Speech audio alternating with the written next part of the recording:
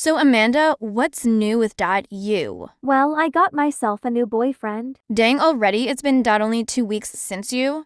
And you know who broke up? Yep, he's better than. You know who. Anyways, what's new with? You how's Nathan? Me and Nathan are good.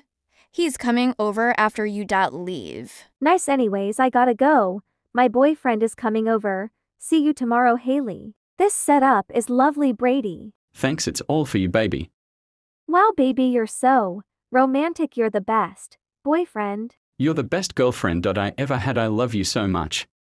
Let's go watch the sunset and kiss there. All right. Let's go.